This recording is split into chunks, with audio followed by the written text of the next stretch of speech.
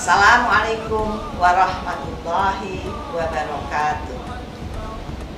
Umat Islam telah menyelesaikan ibadah berpuasa selama satu bulan penuh dengan doa dan harapan untuk terus dapat menjadi orang yang selalu beriman dan bertakwa dan mampu menjalankan amanah rakyat yang berkeadilan serta dapat menjaga persatuan bangsa demi tercapainya masyarakat yang makmur dan sejahtera.